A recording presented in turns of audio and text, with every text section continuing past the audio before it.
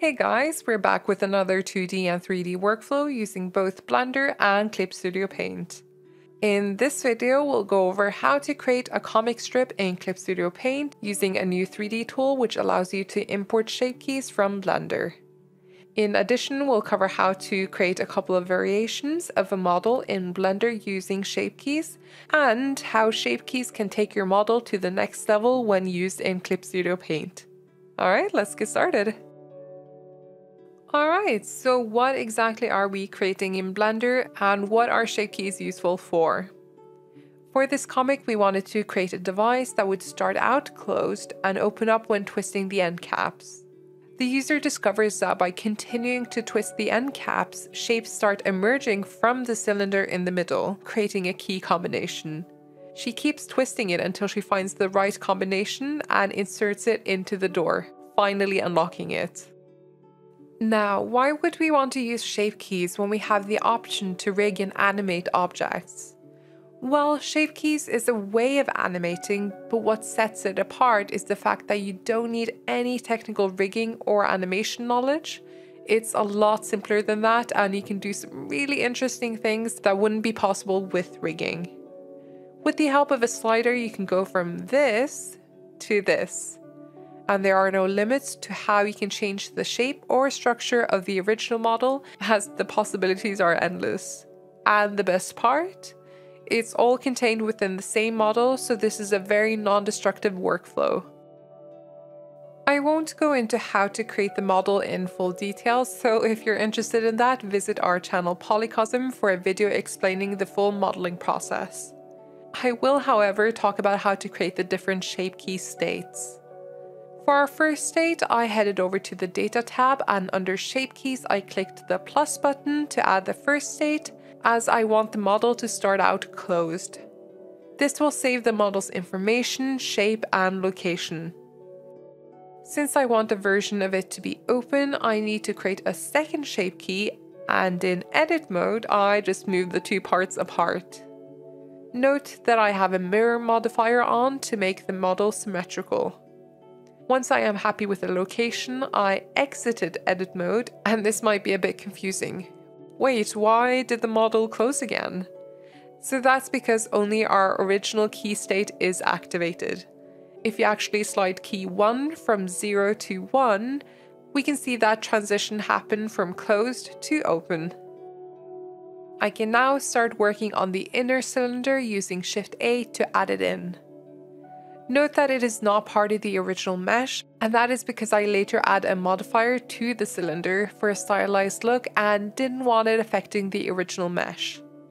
Once I am happy with the size, I merge it with the original model, selecting it first, then the original model and pressing Ctrl J. Our shape keys are still there, but since we haven't added a collapsed state to the cylinder itself, it will remain static. So to fix that, we can select the original closed state and in edit mode, we can scale it down until it's not visible. Now this works perfectly, but we also need to add in the scaled up version. There we go. I'll skip over how to create the model with extruded shapes, but head over to Polycosm if you're interested in seeing that process. Okay, with our new model, we can join it with the original mesh and repeat the steps we did for state number two. Something to note is whenever you create a new shape key after you've created a bunch of shape keys and you want to copy those attributes over to a new key, all you need to do is hit the down arrow and press new shape from mix. And this is what the new key would look like. In the end, we get something like this. Alright, all we have to do is just export it to Clip Studio Paint as an FBX, and Omurjan will explain the rest. Okay, I'm going to demonstrate how you might use the 3D object with the shape keys applied during the sketching phase. As you can see, I have a rough layout for the page that I'm going to work on. In the layout stage, everything is drawn very quickly and roughly so I can focus on the overall page design and the flow of the story without getting distracted by making a good drawing. I mean things like getting the anatomy and proportions correctly, an accurate perspective and things like that. At this stage, don't worry about any of that. Just focus on readability. Do the panels flow from one into another clearly? Does the overall page composition work? You should be answering questions like that first. For this whole process, I have used the real pencil and lighter pencil tools and not much else. I don't have any concept art made or anything like that, so I'll be designing the character's look on the fly as well. For the drawing phase, one other tool I tend to use is the Direct Draw subtool. In this case, it helps me block in accurate elliptical shapes. Although I will use that mostly as a guide and will go over it freehand, because I don't like the crisp and perfect look of it for the final art. I feel like overusing tools like that can strip away the personality of your drawing a bit. Alright, let's bring in our 3D object to use as a reference here. In this case, we'll be bringing in our 3D object to help with the perspective and how this artifact our characters interacting with moves and changes. To do this, we go to File, Import, 3D Data. Select the 3D object you want to bring in and click Open. Now we can use the camera tools and the movement tools above the 3D object to move it around on our page and match it to the rough sketch as closely as possible. Right over here in the Tool Property window, we can adjust the light source to suit our needs best. I'm also going to turn off the Cast Shadow by unticking the box next to Cast Shadows on Ground, underneath Applied Light Source. Then I create a new layer, make a selection with Marquee subtool over the 3D reference and fill that with white or just off-white color. Then I drop the opacity on this layer down. This is basically my way of digitally putting tracing paper over the reference so it's easier to see my drawing. Now, on another new layer on top, I can start drawing the artifact in.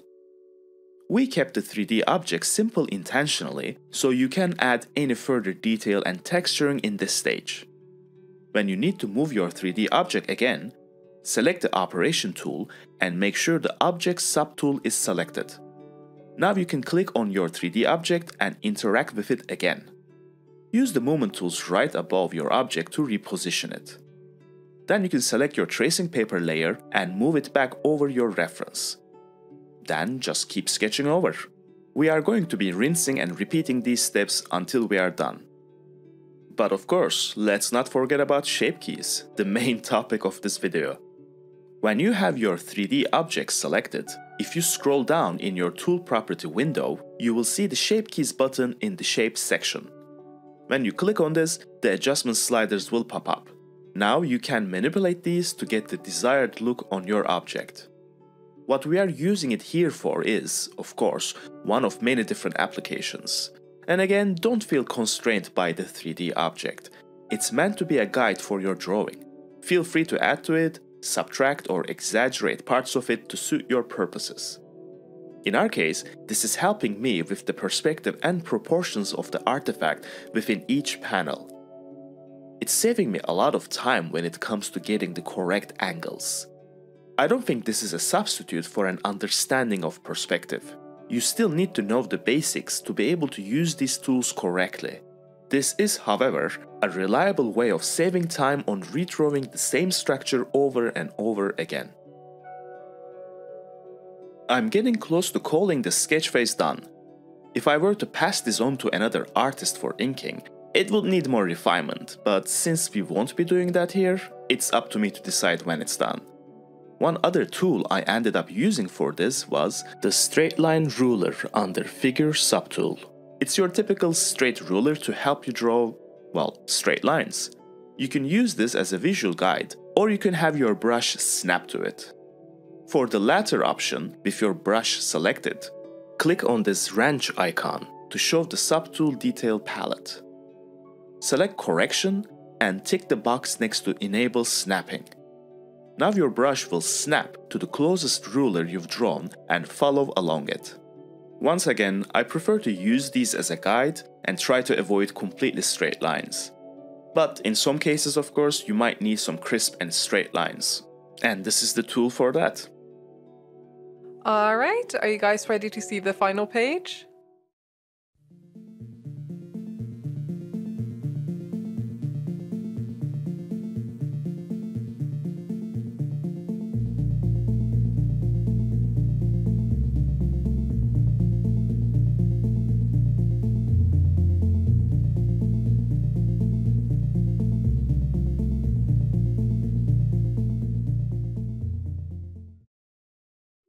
So, to summarize, ShapeKeys is an incredibly powerful and easy tool to use, and you can create some really interesting models which can help aid the process of any Clip Studio Paint users. You barely need any knowledge of Blender, and just look at how cool this final comic strip ended up being. Hope this was useful, and as always, if you want to see more 2D and 3D workflow videos, check out our channel Polycosm. Thanks for watching. Bye!